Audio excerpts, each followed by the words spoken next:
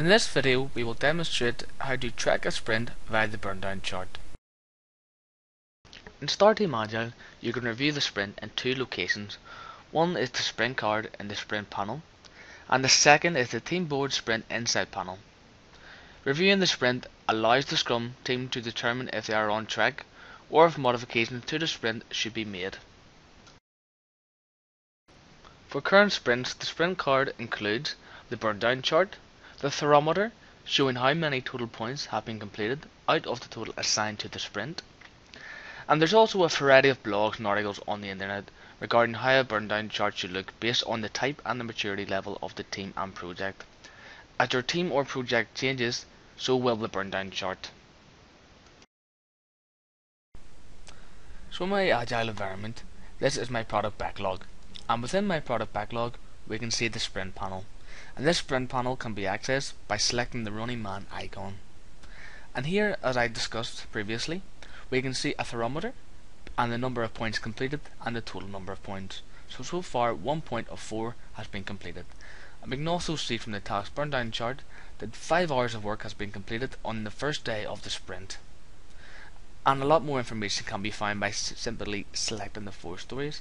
And you can see the story type, name, status and the number of points assigned. And you can also review this information in the team board by selecting this option. Now while we are on the team board, we can select the graph icon, which will open the Insight panel. And the Insight panel displays the hours burndown. So again we can see the 5 hours is currently being worked on on the first day of this sprint. We can see the estimated points by type, so we can see that there's three user stories and one technical to do and again we can see the thermometer which has one point of 4 completed. For past sprints, the sprint card displays the total points completed in that sprint, a pie chart showing the story types included in the sprint, and you can review past sprints by scrolling through the sprint card panel on the backlog view. The charts are displayed for past sprints and can be used to determine the velocity for future sprints. When reviewing past sprints, we can simply select the sprint name from the drop down box. So I will select Demo Sprint 2. And here we can see the burn down chart again and how the sprint progressed. We can also see the estimated points by type again. So here we can see there was one defect and two user stories. And we can see that three story points of three have been completed. And we can also go back to the backlog and in the sprint panel we can see a history of all the sprints again.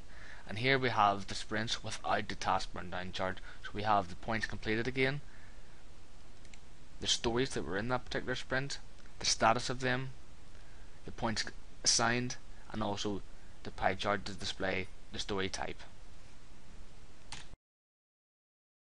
In this video we discovered how to review past and current sprints within StarTeam Agile. Thank you for taking the time to watch this video.